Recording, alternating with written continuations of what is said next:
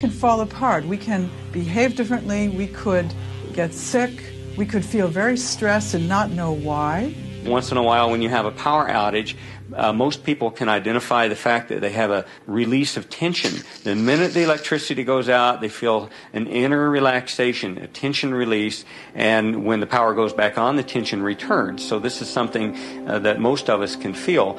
Everyone has a certain sensitivity to electromagnetic waves. It's just that some people are more sensitive than others. The symptoms that I discovered in my research caused by electromagnetic frequencies are anxiety, depression, diarrhea, dizziness, uh, extreme fatigue, headaches, lightheadedness, mood swings, nausea, nighttime increase in urination, uh, pulse rate, a sudden increase, shortness of breath, tingling, prickling feeling of the skin, vertigo, nosebleeds, blood pressure increase, and body tremors. You can also cause cancer.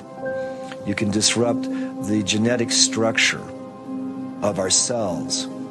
Um, you can cause long term damage in terms of mutagenic damage over generations, or you can cause very short term damage, and you can also you can actually cause somebody to just have their cells fall apart and hemorrhage to death.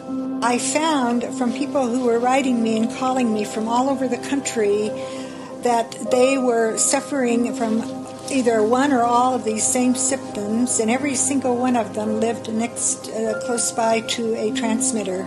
You know this from HAARP to GWEN to these towers.